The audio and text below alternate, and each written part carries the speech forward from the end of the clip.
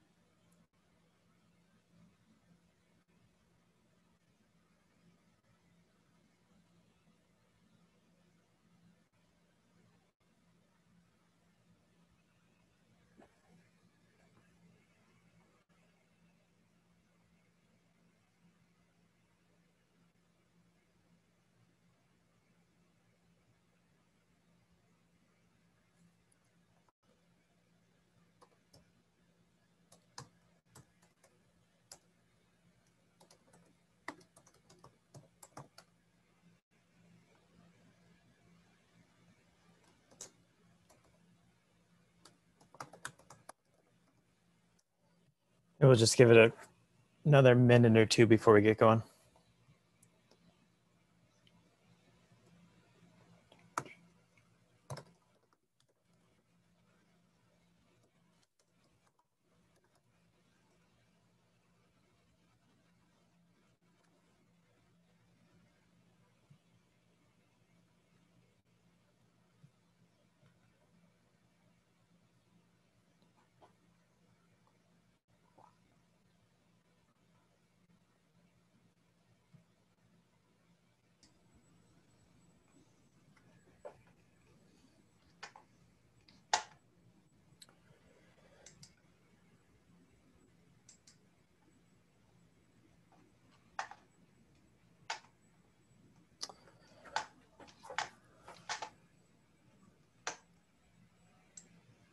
Okay, I think I think we can get going. Um, just first, a uh, quick little piece of uh, housekeeping. Um, the BBSR is going to not put on seminars in July and August, just for the summer. So we'll be back in September, and you should be receiving your standard school medicine emails um, when that seminar starts back up.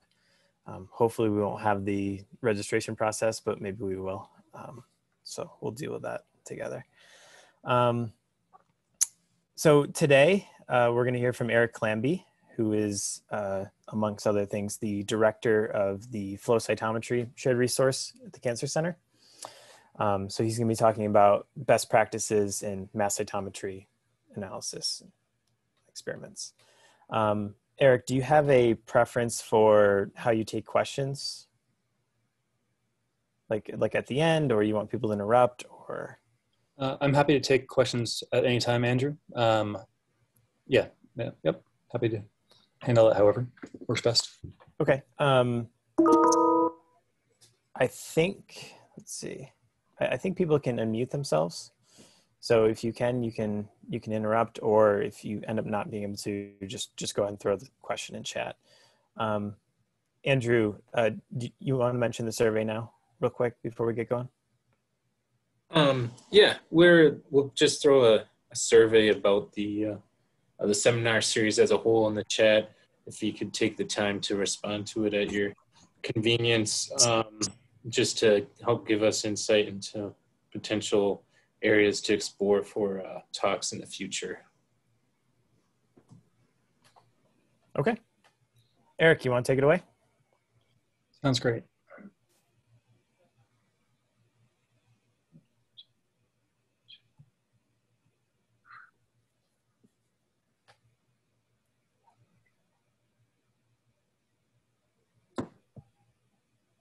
Uh, Andrew, does that come across? Yep. Okay. Perfect. We just see the uh, presenter mode Okay. So or, or just the slides themselves. just the slides. Okay, good. Right. Great. Uh, well, uh, thank you for the uh, opportunity to, to speak and um, thank you for attending. So my name is Eric Clambey. I'm the director of the flow cytometry shared resource. Uh, that's one of the hats I wear. And uh, today I'd like to talk about best practices in flow cytometry and mass cytometry based research. And I'm going to try to uh, cover a range of, to- of topics, um, uh, really to uh, in the in an effort to try to increase the, the level of sophistication and uh, rigor and reproducibility that what people are getting in their cytometry based studies. So um, the real goal here is how you can get the most out of your cytometry based research while avoiding common mistakes. And I have no conflicts of interest to disclose. So um, I am happy to take questions throughout or by email afterwards. I also would like to point out that um, the flow cytometry shared resource in the Cancer Center, um, uh, our resource is constantly thinking and dedicated to cytometry and mass cytometry based research. Um, and we offer a variety of different services as well as education and one-on-one training. And so um, certainly uh, additional questions that come up, um, not only myself, but uh, the staff of the flow cytometry shared resource are wonderful, wonderful uh, for providing insight on how to do the best cytometry you can. Okay, so uh, so flow cytometry and mass cytometry are two complementary technologies. Um, they both enable the rapid quantitation of cells and their properties. And uh, these methods, uh, t- you start with typically with cells that are in suspension. So these, these, these methods both require the cells have been dissociated and the cells are in single cell suspension. That, you can have clumps uh, when you analyze uh, samples by uh, these methods. Uh, so one cornerstone is cells in single cell suspension in fluid phase. Then you have your various detection reagents that can include antibodies, which are kind of the workhorse for these technologies. But there are other uh, detection reagents which can be used. And then ultimately, cytometry is uh, quantifying the fluorescence, um, uh, the cell-associated fluorescence. So in this case, for example, there are two different fluorescently labeled antibodies that with different uh, light properties. Um, and it, and these antibodies can bind to proteins expressed in this cell. Uh, so flow cytometry is quantifying fluorescence. In contrast, mass cytometry, or CyTOF, uh, is quantifying uh, uh, isotopic mass. And so in this case, antibodies are not conjugated to, fluorescent, to fluorophores, but are instead um, coupled with isotopic, uh, with isotopic elements. Um, and so, for example, typical experiments will measure isotopic mass between 89 to 209 uh, for mass range. Okay, so why, why are these uh, techniques uh, powerful and of use to a wide, a wide audience? So let's start with a very simple example. And in this case, we want to, comp- uh, we want to compare uh, how cancer cells respond uh, either untreated or in response to a cytotoxic agent. And from this cartoon, I think you, you probably can get a sense that in the control group, the cells are fairly uniform, but in this uh, treated uh, cohort, there are a number of um, uh, different responses indicated by different colors. Okay? And so with flow and mass, uh, flow and mass cytometry, um, what's possible is to analyze uh, this population of cells with single cell resolution to really understand how different cells are behaving within this population. Some standard measurements that can be incorporated with these methods include the analysis of cell death or and, and division or proliferation. Uh, frequently, analysis is focused on changes in protein and in RNA expression, uh, as well as the induction of reporter genes. And so, this method, these methods are allowing you to quantify what's happening in that population of cells with single cell resolution. So, when you start this, you could you could imagine you just want to quantify how many cells are undergoing cell death. So, for example, in this top example, uh, when it's drug treated, you might want to say how how vulnerable are these cancer cells to this uh, to this chemotherapy. And what you'll note here is that while many cells uh, die, indicated by this uh, darker color here, there are some cells which survive.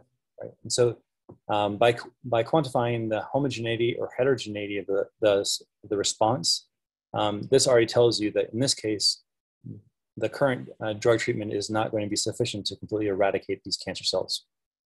Okay.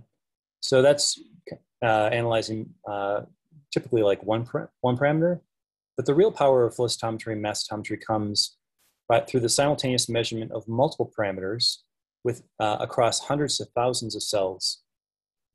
So for instance, in this, in this bottom case, uh, in this study, there were multiple detection reagents um, capable of detecting different proteins, okay, the red protein and the purple protein, as well as as well as two different types of phosphorylation events here in yellow and here in purple, and then also induction of a reporter gene.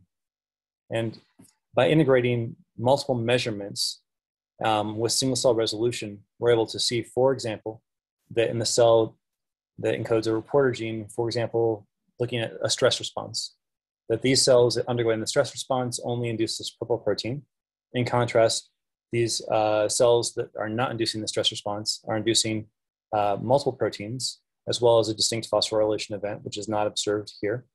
And then you can imagine that uh, apoptotic cells might exhibit a, a, distinct phosphorylation signature, possibly indicative that of the underlying mechanisms that drive cell death. And so it's really uh, the analysis of multiple parameters across hundreds of thousands to millions of cells that affords the unique insights that both flow cytometry and mass cytometry can afford. Okay.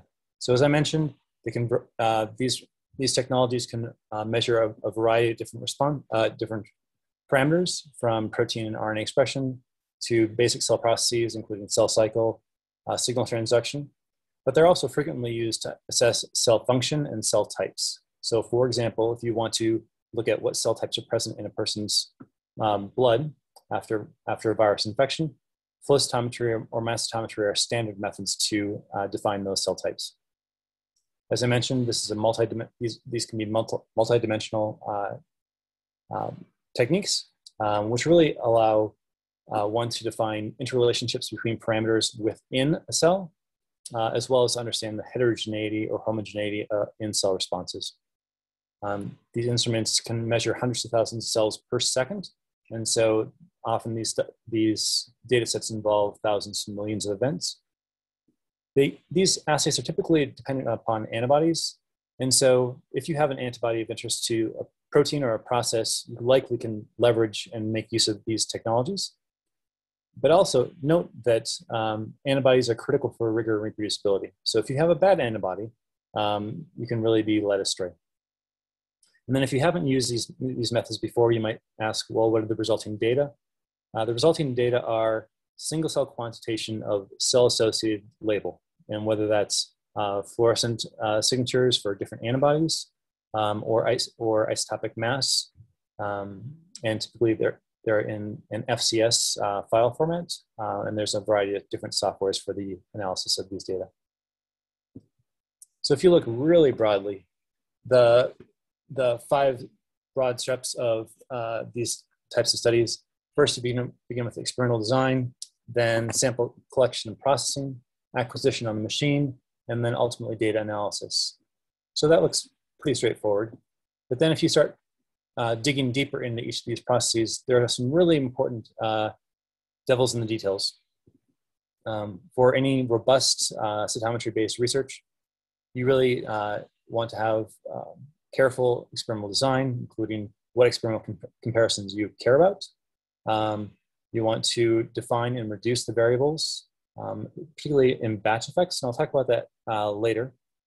Um, you want to make sure that you have um, well-behaved antibodies and uh, an optimized sample processing. Um, and this is all to reduce uh, technical artifacts. So in terms of sample collection, there are various kinds of tissue that can be subjected to these me methods. So for example, peripheral blood, that's very, very easy. The cells are already in suspension as single cells. But often these methods are used to study tumors or uh, cell lines where uh, these cells need to be uh, disaggregated before they can be um, processed and analyzed. In terms of sample processing, you require uh, cells need to be dissociated, subjected to various treatments, and then uh, antibody stained. And then in terms of in the instruments, uh, these, there are a variety of different instruments that can be used, um, but it's very important to make sure that they have uh, that they are maintained to high standards, um, that you know the instrument settings, and that during the collection you need a uh, you need to have many controls in order to appropriately interpret your data. And then for data analysis, there are a number of uh, quality control and uh, uh post-collection processing steps that are required before you get into either uh, manual or algorithm-based analyses. Um, but please remember, these instruments are exquisite at detecting uh, whatever you put in. And so if you have poor sample quality, um, these, these instruments will return data to you, but it might ultimately be garbage. Okay. So as I mentioned, the cells uh, for these uh, studies, cells need to be in single cell suspension. Um, and uh, you'll need, for example, for flow cytometry, you'll need fluorescently labeled antibodies or other probes. Um, and you'll need standardized uh, sample collection and controls. Um, one thing that um, we often end up seeing um, in experiments is that um, that there aren't that not all the controls have been collected that are required to appropriately interpret your data. And so one thing that I would that's really important for best practices, um, whether it's whether it's uh, flow conventional flow cytometry or another kind of flow cytometry, spectral flow cytometry, is it is essential to have uh, controls to understand the behavior of each of your individual fluorophores. Um, and without these controls, it's often imp impossible to accurately interpret your flow cytometry data. Okay. So here are some things that you should think about that may or may not uh, apply to you, but um, certainly can be um, spots to trip people up. So first, um, because these technologies require cells in suspension, not all cells tolerate dissociation uh, into a single cell um, suspension. Uh, furthermore, if you're using tissue such as tumor tissue, the processing, uh, the enzymatic and mechanical uh, processing that are required to get cells dissociated, to get tumor dissociated, for example, um, can result in uh, can affect proteins that you might be seeking to measure, um, but they can also affect what cells um, survive and ultimately go through the instrument. So here you need to choose your dissociation regions carefully, and um, whenever possible, you want to quantify what impact these enzymes have on protein expression before your big experiments. For the machines, um, if you're using a core facility such as ours, um, standard, uh, standard practice is daily quality control. Um, and so machines should be routinely calibrated. Um, but, but, please note that the, even the exact same machine between two different days may have slight variation. And in terms hey, of, yes, please. Yep. Uh, quick question on the machine calibration. Is there calibrating like over time within an experiment? So if you're, you know, reading through a, million cells or something. Yeah. Um, so there are controls over time? Um, right. So it depends on the, the technology. So for mass cytometry or CyTOF, there are um, equilibration beads which are spiked into the sample, mm -hmm. and um, uh, basically one of the post-processing steps is normalization of that signal um, over time. Um, for the flow degradation of uh, detection signal isn't as, as much of a problem um, within a run. But if you want, if you're trying to compare like across days, it's best practice to have some internal standard that's been subjected to the exact same treatments um, to to understand if there is any drift drift from day to day. Thanks. Oh, one, one Uh, more yeah. question. Christine, yeah, you want to say? yeah. So we have um, some beads called FlowSet Pros that we do run on some of our instruments daily to make sure that we don't have that drift. And we do provide those for experiments if people would like to run them with every experiment so they can track that drift themselves. Thanks. Thanks, Christine. Uh, so Christine is one of our one of our senior uh, members of the Flow Core, um, and she's an amazing resource. Uh, okay, uh, right. And so, uh, additional things uh, to consider when you are getting into flow cytometry um, are what antibodies you want to use and what fluorophores you want to use, um, and uh, that's going to be influenced by um, various things, including what's available and what what the machines are capable of measuring. I'll get into that in a little bit. So for flow cytometry, this, re- this relies on fluorescence detection. Um, but one challenge is, with this technology is that uh, fluorescence is uh, that you have spectral over, overlap between different fluorophores. So here's an example of, in the top row here, fluorophores excited by uh, 488 nanometer laser. Okay, and you'll see uh, a range of, and this is uh, wavelengths on the x-axis. And you'll see that uh, for example, different like different fluorophores have uh, a broad emission spectra that can overlap with neighboring fluorophores. So here, for example, this uh, this green FITC uh, peak can uh, has an emission profile that overlaps partially with this PE signature. Okay? And so, one of the important things um, that is required to appropriately analyze cytometry data is to appropriately uh, consider and um, compensate for spectral overlap. Okay? And so if you're using a conventional flow cytometer, that's, that, that signal correction is called compensation. There's a more recent technology called spectral flow cytometry. And with that method, uh, the machine actually collects a, the entire uh, emission spectra of, of an individual fluorophore, um, but there also is signal correction required there called spectral unmixing. Okay.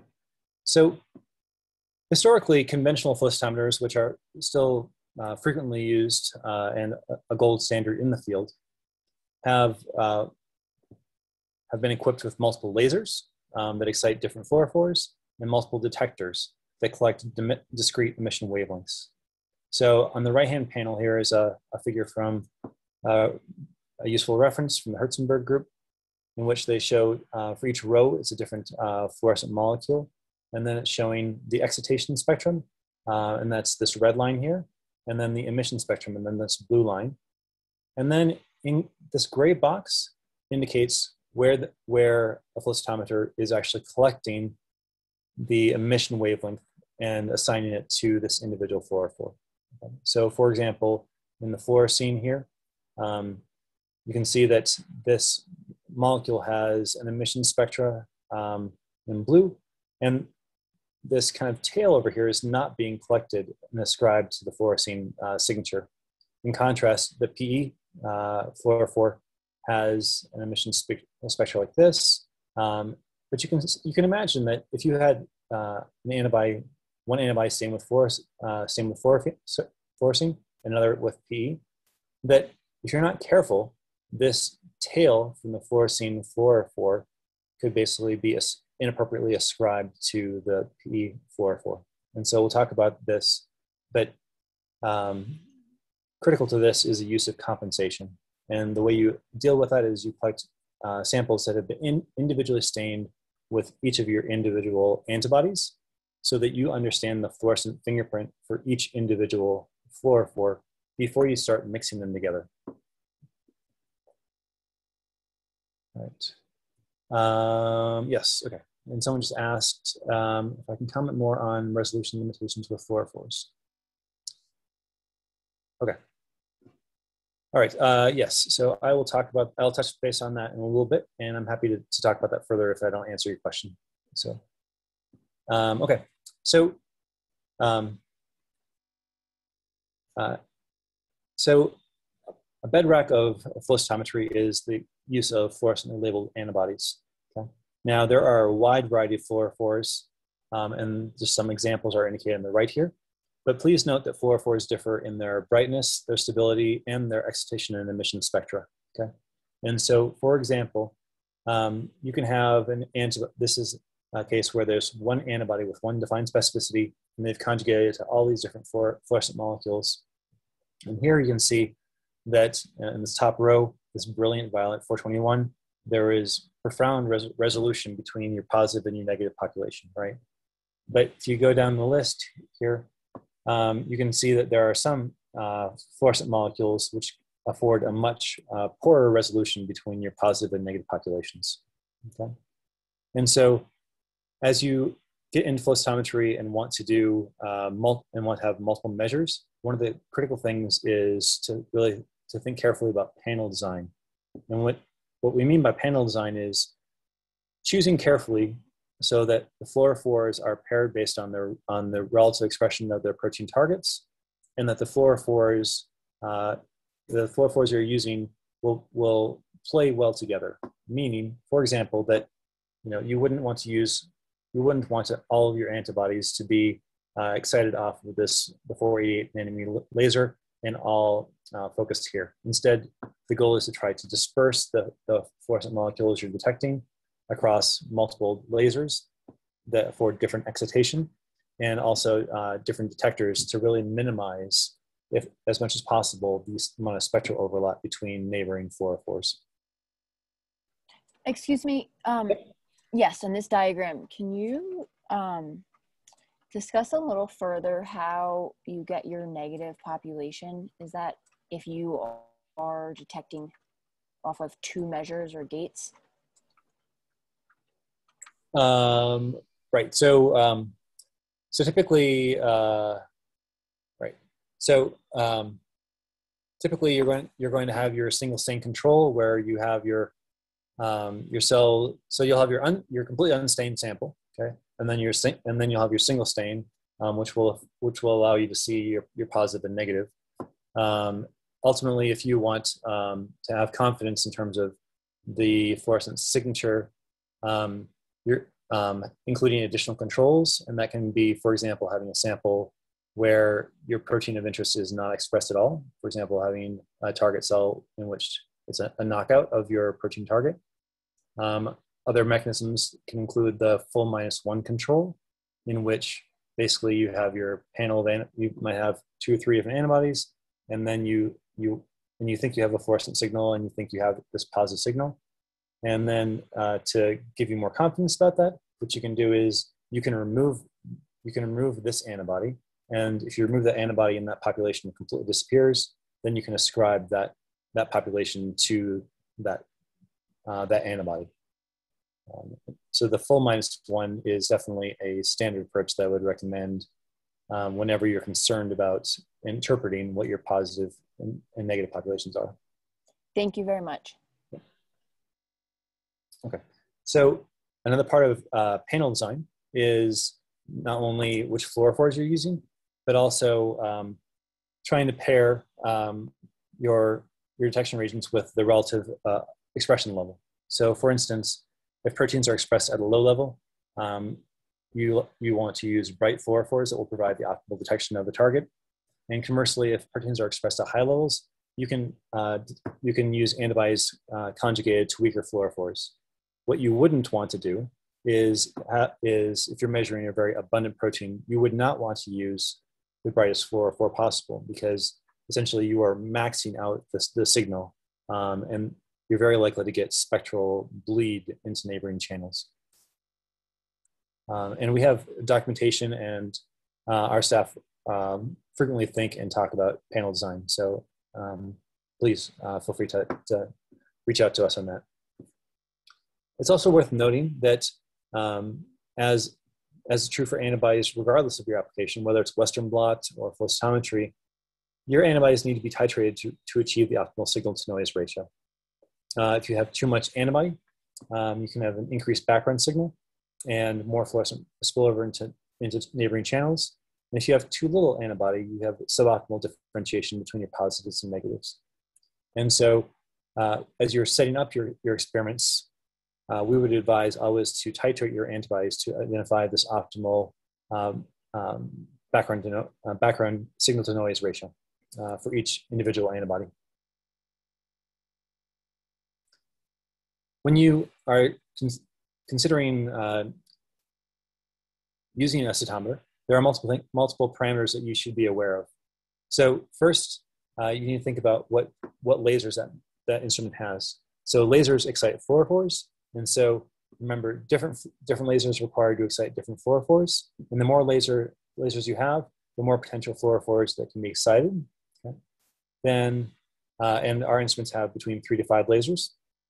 Instruments also have detectors to detect fluorophore emission. The more detectors, the more fluorophores that can be detected. But please note that, um, that there might be cases in which you don't want to max out the number of lasers and the number of detectors um, because the more detectors, the more you can also have signal spread as well. So um, there is kind of a sweet spot. It's also important to note that all cytometers require continued maintenance and quality control. Uh, and uh, and uh, for example, in a, in a flow core, uh, we have uh, daily quality control metrics. Um, but also, um, you need to be sure that you are bringing personally the appropriate controls for your signal correction for your individual experiment. So there are uh, tens, if not hundreds, of different cytometers that have been developed and are commercially available. Um, I'm just going to give examples from our facility. And so uh, we have um, conventional flow cytometers. Um, and so these range from three to five laser versions and can measure uh, from 12 up to 28 parameters. We have a, a spectral flow cytometer, which is uh, the Cytek Aurora. This is a five laser machine and that and while both the conventional flow cytometry and spectral flow cytometry, they both use fluorescent, they both detect fluorescent molecules.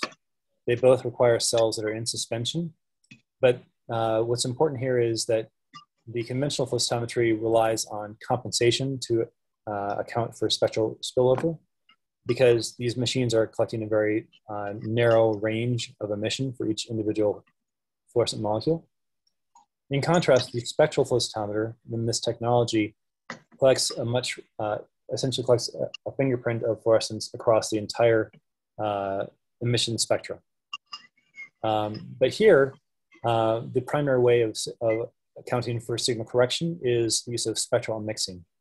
In both cases, for both compensation and spectral mixing, so regardless of, of which technology you're using here, it is critical for you to have single stain controls so that you can you can accurately define the fluorescence from each individual fluorophore so that you can then understand what what fluorescence signal you're getting when you're mixing all of your antibodies together in, a, in your experimental sample of interest. So for the uh, mass cytometer or CyTOF, this, uh, we have a Helios and that can collect uh, more than 35 parameters. And here, um, there is less of an issue in terms of um, uh, channel bleed over because this machine's measuring mass rather than light. Um, but there is an important time dependent normalization that's required for uh, signal correction with CyTOF.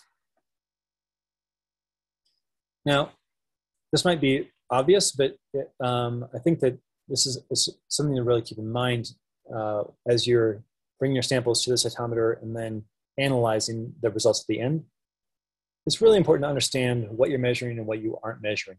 And what I mean, mean by that is um, really considering the, the manipulation steps required to get the samples into the machine. So here, for example, is a tumor. Uh, well, actually, this is a granuloma. Um, you you have to mechanically and enzymatically dissociate that. And even in this process, you'll note that there are some cells which might apoptose due to the dissociation treatment, um, you then need to filter them. Uh, so then you antibody stain, and then you filter filter them. Um, so you have you're ending up with uh, an antibody stain cocktail, um, but you also have debris. Um, you have some some cell doublets, which might make it through a cell filter, but um, are basically a technical artifact. And then this mix of material, this mix of cells and single cell suspension is put into the machine.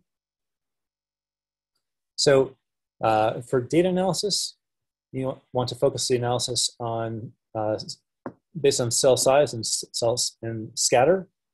For CyTOF, there's a slightly different parameter that, that's used, and I'm happy to discuss that later.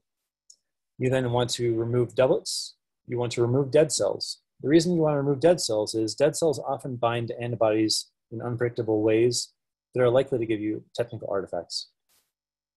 And then you'll characterize cells based on their frequency or, uh, or their antibody fluorescence.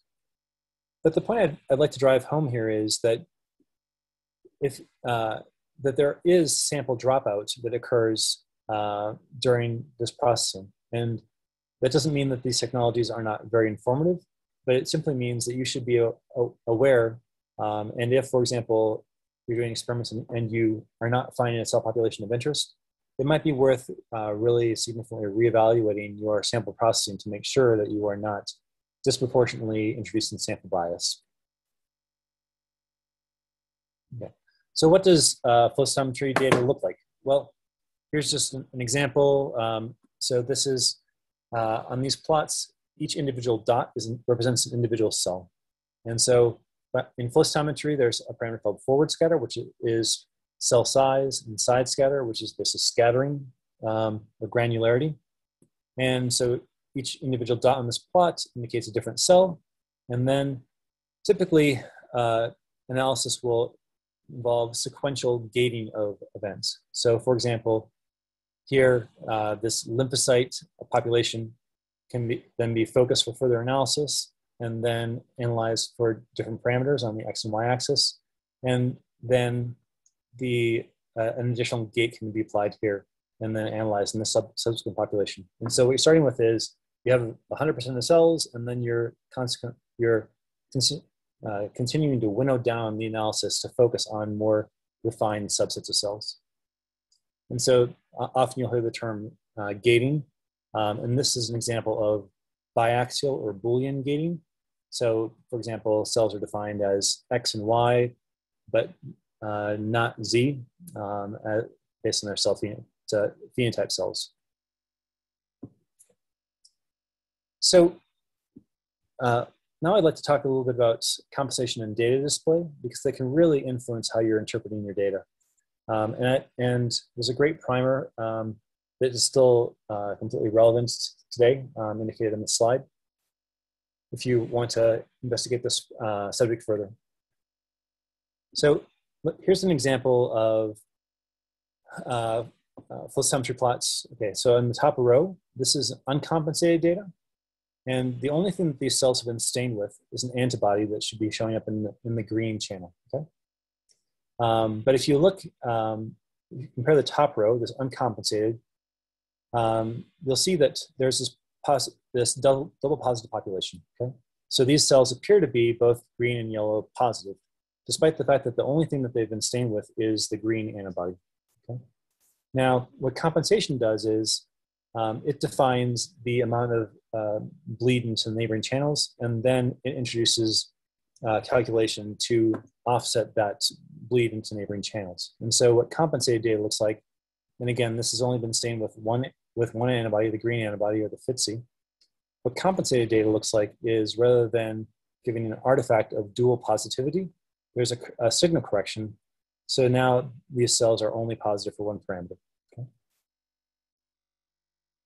So, uh, okay, right. So compensation is critical because you can imagine if you didn't have compensation and you didn't know that the sample was only stained with the green antibody, you would falsely interpret that these events, that these cells here co-expressed um, proteins that were detected by both the green and the yellow antibodies. Okay. So another important thing to appreciate is data display, and that can profoundly influence your interpretation. So for example, in this uh, bottom left plot, uh, the data are compensated, but you can see that there's a, a, large number of, of events which are smashed against the axis. Um, in contrast, there are now, in most flow cytometry software uh, programs, there are ways to display the data to make sure that you are seeing the complete spread of data and not being misled by events that are buried on the axis. Now, another thing that that's worth noting is that in this case, in the, in the bottom right plot, these data are correctly compensated. Okay? They've only been seen with one antibody, um, this FITC antibody. Um, but if you look at the spread from top to bottom, between the positive population and the negative population, there is, despite the fact that it's correctly compensated, there is a wider spread. Okay? And that's an important thing to consider in panel design is uh, how much spillover there is, even, uh, pardon me, even in a correctly compensated sample. All right. So uh, another thing that's worth uh, discussing is um, how, for example, when you're drawing gates, how do you know where to put a gate? And so, as I alluded to earlier, it's, it's if you want to have uh, high confidence in the populations you're defining, uh, there's significant, significant value in having multiple controls. So here's an example where um, we had uh, uh the actual experimental comparison was this untreated versus this TPA stimulated uh, sample. Okay. And uh, in this analysis, when there was no probe added, and so here focus on the x-axis and the shift there, there um, versus this uh, these samples that were it was it was the exact same cell line, but it was not virus infected, but it was stimulated. Um, and then we have our untreated, virally infected, untreated cells, and our virally infected uh, stimulated cells. But you can see here that um, you know, depending on which uh, which samples you run or do not run, you know, that influences where you're going to draw those gates. So, for example, in the case of the no probe, uh, if if we'd only run this, then we would have likely extended the left-hand side of this uh, of this intermediate gate. But instead, by using this uh, matched cell line that's stimulated, um, we have higher confidence in terms of defining this intermediate population relative to um, our TPA stimulated virus infected samples, where that's the only samples that have, should have that signal. Okay.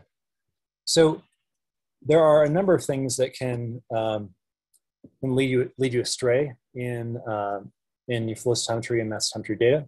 And so what you want to want to ensure is that you are ruling out artifacts. You want to you want to rule out dead cells and doublets.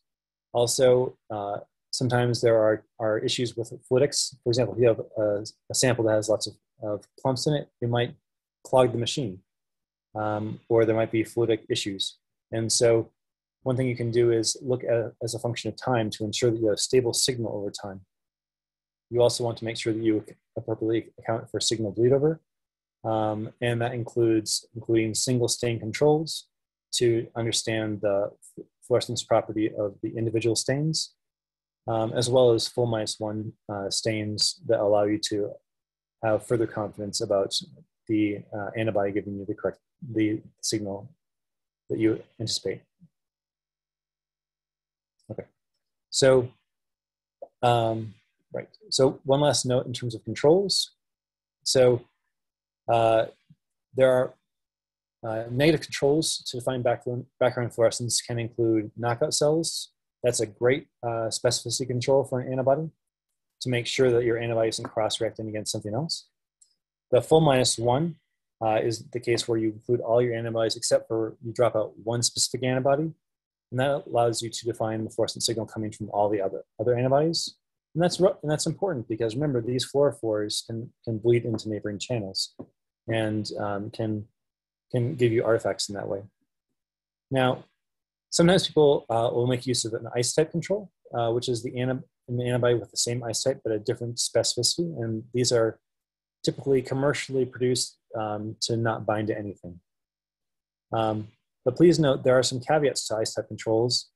And if you use an isotype control, be sure that it's matched, like with the same company, the same fluorophore, um, because uh, sometimes people will interpret that the population is negative based on the isotype control, but please note these have been selected to have minimal binding. And so in general, I would, I would recommend, uh, I would always recommend an FMO if you're concerned about interpreting, interpreting. And certainly if you want to layer on an isotype control in addition, but I think that the FMO is uh, very robust for defining uh, fluorescent, uh, fluorescence so when you when you publish your data, when you go to publish your data uh, for flow cytometry, I think it's also very important to uh, define to carefully define what you are showing. Right for flow cytometry data, you can gate on what are, on various populations, and so for figures, you need to define which cells were analyzed. And typically, it's uh, smart to include a complete gating strategy that, that can demonstrate to the reviewer or the reader um, how you identified your cells, how you excluded doublets and dead cells. And that, that also will allow you to uh, show how you define your positive and negative populations. And that would often be complemented by inclusion of an FMO control where there would be minimal fluorescence for that, param for that parameter in the FMO control and robust signal in your positively staining samples. One other thing I'd say is please don't show just show numbers. Um, I think there, there are lots of cases in which seeing the primary data can be extremely informative. And it's also, it can be very easy to mislead, um, to mislead readers by just showing frequencies, for example. So let's talk, let's turn towards uh, mass cytometry or CyTOF. Okay. So this is cytometry by time of flight. Same principle as flow cytometry. The cells are in suspension. They're also stain, often stained with antibodies, but the difference is that the antibodies are not fluorescently labeled. They're labeled with isotopically purified rare earth elements. Um, now, given that you don't need to worry about spectral bleed over, um, CyTOF is able to measure at least 40 parameters uh, or proteins at the single cell level. And so this is really a high dimensional uh, platform.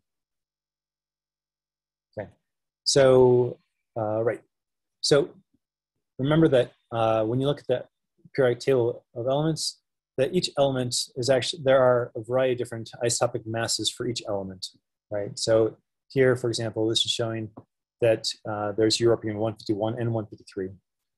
But it's possible to get these isotopically purified elements and then um, and then use the use these to label antibodies. And so that's the principle of CyTOF is uh, isotopically mass labeled antibodies. Now, uh, CyTOF is an incredibly powerful tech, uh, technique and extremely exciting. Um, it uh, one of the it, but it raises some interesting challenges with the high dimensional nature of the data right? So if you're looking at 35 or 40 dimensions of data versus uh, five or 10, um, you have some additional challenges. Um, you also need to, uh, to think about, uh, go to, to, great lengths to reduce technical artifacts in your CyTOF data. And the reason I say that is that a lot of the high dimensional data analysis algorithms that you use for CyTOF analysis can be uh, very sensitive to technical artifacts.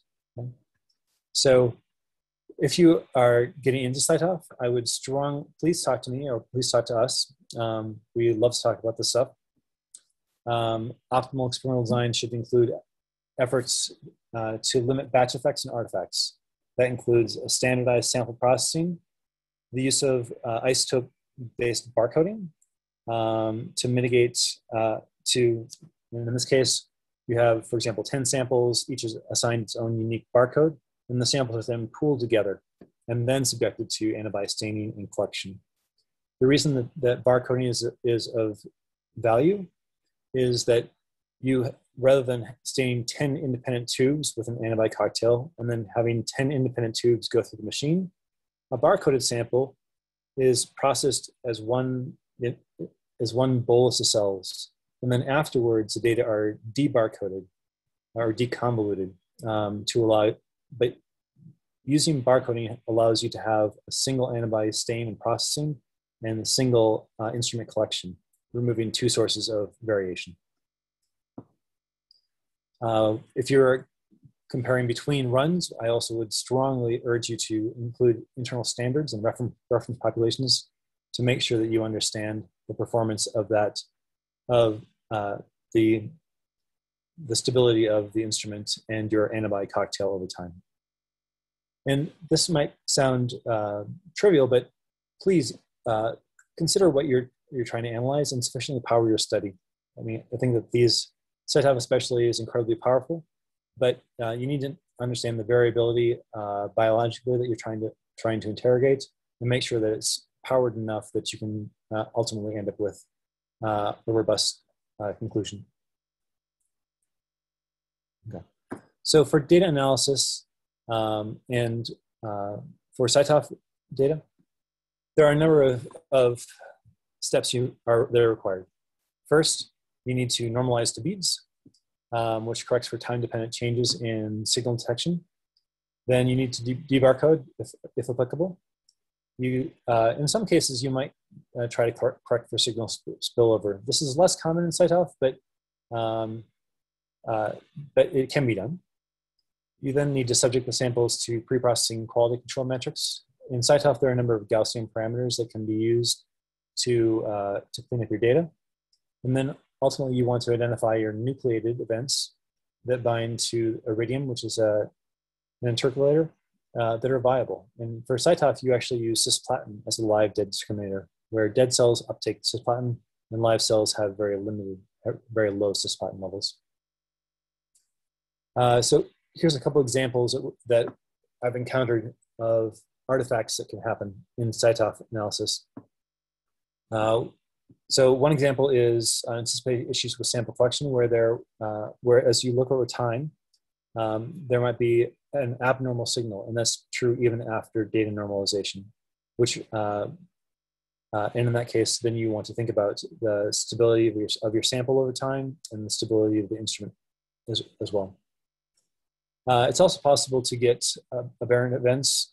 Um, uh, sometimes people, when they analyze the data, so the samples that are run for we include these equilibration beads that are used for standardization. But um, if but those are beads, and so sometimes if you aren't aware that those beads are in there, or or forget that they're in there, and then you subject your your sample your your data to further analysis, you you, can actually be misled because these isotopically labeled beads can um, look like there might be an interesting population, until you realize that it's, it's simply that internal standard for sample normalization. And so as general practice, I, I like to remove beads or at least um, to very purposely identify them in, in the analysis so that I'm not misled by them. Okay. So I mentioned already Boolean or biaxial gating. That is one approach that you can use for, for any cytometry-based data set. Um, and certainly it's a gold standard for defining leukocyte subsets where there are mutually exclusive markers. But when you think about that for CyTOF analysis, uh, that's extraordinarily labor intensive um, and will not allow you to discover new populations. And so uh, the field of data analysis for CyTOF has really turned towards, um, towards more powerful uh, algorithms. Uh, there are two basic principles that many of these algorithms use, um, and those are dimensionality reduction and clustering. And, and often uh, these two modalities are combined together to visualize your data. Now, please note that sometimes uh, you might only have some algorithms might only do afford dimensionality reduction or clustering, but um, I would generally recommend using algorithms that uh, afford this integration of uh, dimensionality reduction and clustering. Now, it's also worth noting that different algorithms will show different levels of resolution. Uh, and here's an example of that. And so here we took one common data set, analyzed across 10 different algorithms. Um, and in each of these algorithms, we've colored by based on CD45 expression. And so here, for example, you might hear of viSNE or t-SNE. And I note that depending on which version of t-SNE, there are different versions of t-SNE. Okay? And so uh, you, um, you want to be aware of which version you're using and if it's optimal for the number of events that you're trying to look at. Recently, there's been a new version of t-SNE called opt-SNE that's been developed, which has been uh, optimized to analyze larger data sets. But if you if you look across all of these, you know these it's the exact same data set, and yet the the visualization and how you interpret it is very different. Right? And so in the top row, um, each dot here is an individual cell. In the bottom row, these algorithms are focused on uh, or, or, portray cluster level information. Okay, and so uh, one thing I would encourage you to do is, as you're considering different algorithms, to really understand what the data are showing you um, and the strengths and weaknesses of, of the method that you choose. Um, there are a number of parameters that can influence uh, the data, uh, data analysis. uh, and what you're seeing at the end. Uh, these include uh, what cells you're putting into these algorithms. You know, are you putting in all cells or all viable cells?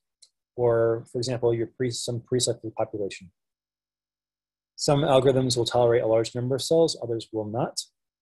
Um, and then for clustering uh, algorithms, you need to think about what parameter what parameters you're using for clustering.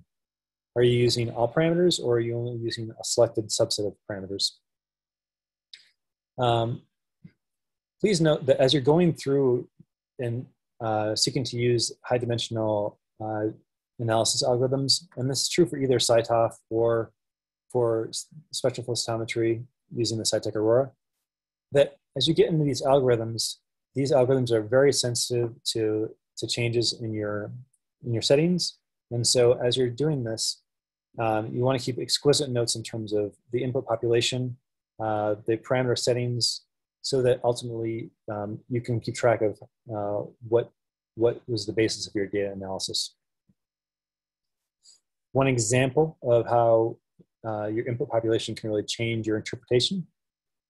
Here we have an example where we were looking at how many CD4 T cell clusters there were in our data. Um, and so when we used an input analysis of live nucleated events, um, this analysis identified five of the 29 clusters that, that were characterized by robust CD4 expression. So based on that, you'd say, well, there are five clusters of CD4 T cells in this, in this sample. But instead, when we took a pre-selected, we, we purposely pre-selected CD4 T cells and then subjected them to the exact same algorithm. And this is the phenoGraph algorithm. And it had now identified 16 clusters. And so what's the right answer? Well, I, would say it really depends on what level of resolution you want to want to obtain. If you said, well, how many uh, it, it, and it's kind of whether it's a 10,000 foot view or a 100 foot view or a 10 foot view of the forest in terms of how uh, the level of resolution that you're obtaining here. Um, you also Eric, I've got a quick question there. When you do that um, subset analysis, do you include the marker for the T cells when you do the 16 clusters there, the second version? Right. Yeah, great point. Yes. So generally, um, I, we we do not include as clustering parameters any parameter that we've used to select those populations. So uh, in this, in the case, so that's a good point.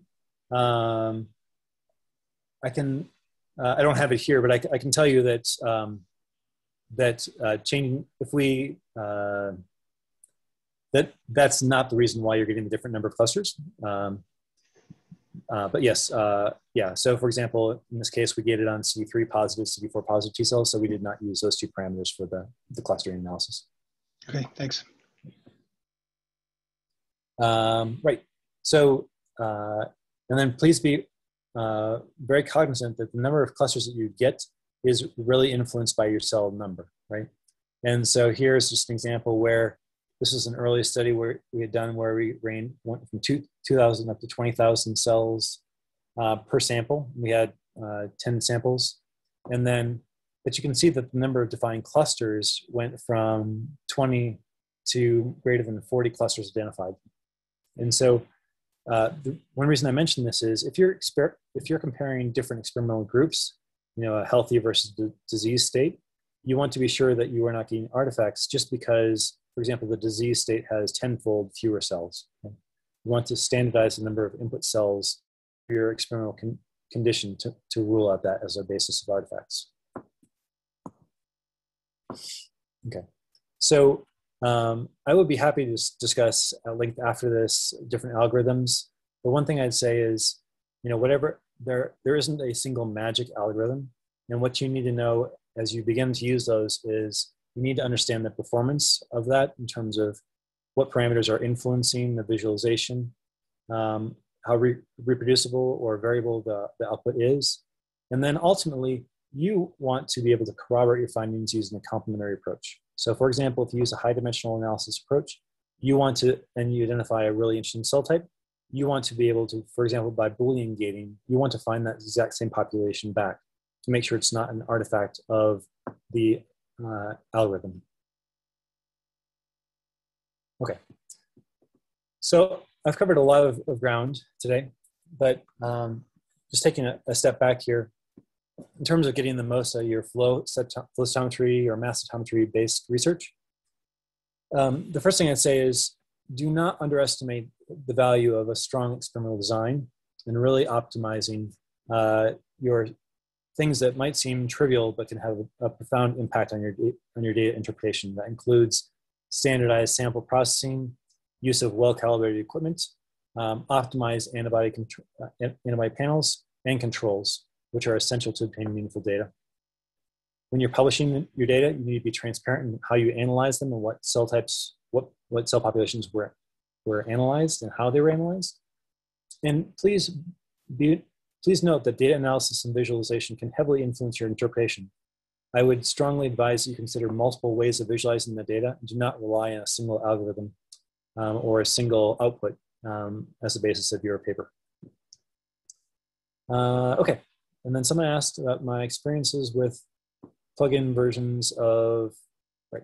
So some of the uh, analysis algorithms that I mentioned um, now have plugins with a conventional, with a standard flow cytometry software program called FlowJo. Um, so um, one major advantage uh, with using that is that um, it doesn't require that you do much coding, um, whereas a lot of the other, often if you want to go outside of a FlowJo-based plugin, then you have to, to do things in R or Python. Um, I'd say that uh, it's kind of, uh, I've had, uh, I've just had variable experiences. And so I'd, I'd say um, it's, it's definitely worth trying, uh, trying things in FlowJo if you're comfortable with FlowJo. Um, and I think that oftentimes it meets the needs. Um, but uh, yeah. Um, right. Okay. So um, thank you for your attention. I'm happy to, I know it's time. I'm happy to take questions now or by email. And our core is always happy to, to answer questions as well. Thank you for that presentation, Eric. That was great. Um, yeah, does anyone else have any other questions? I have a question. Eric, thank you for the talk. Uh, you beautifully described a lot of internal and external controls you use in running the machinery. Yep. Do those results go into the data analysis process or is that kind of an external monitoring to tell you that the machine isn't or is working? Yeah. Uh, yeah. So Dan, typically that's just kind of for our records uh, in, in the flow core. Um, you know, ultimately, if, if an investigator need, uh, want, wants or needs that that information, we can provide that to them. Um, but it's it's not something that is typically uh, incorporated into any individual's ex experiment. Thank you. Yeah. Um, oh yeah, and then I, I, have some links here as well um, that uh, for various some video tutorials, and then um, a couple example examples, including a recent paper, an issue of cytometry that really is focused on rigor and re reproducibility. Um, yeah, and I, I wanted to mention um, we'll be posting this talk on YouTube. Um, when I can find it, I'll drop in the Cancer Center's YouTube channel.